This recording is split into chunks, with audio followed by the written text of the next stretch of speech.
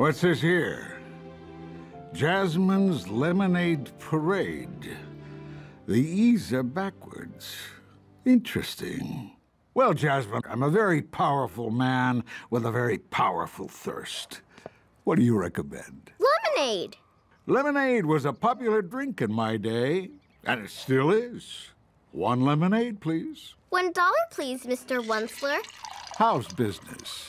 Not good enough. I'm saving for a pony. A pony? Wow, those can be pricey. Like a couple hundred bucks? I know. I'm like, hey, guys, I could buy a car for that much. Talk about highway robbery. Highway robbery. you know, I raise ponies. No. Ah, magnificent. I admire entrepreneurship in young people. What do you say, Jasmine? Why not make your next move your best move, huh? Deal! Make your next move your best move. My lawyers will be by with the paperwork this afternoon. See ya, partner. Why in God's name are you wearing that coat? It's 90 degrees.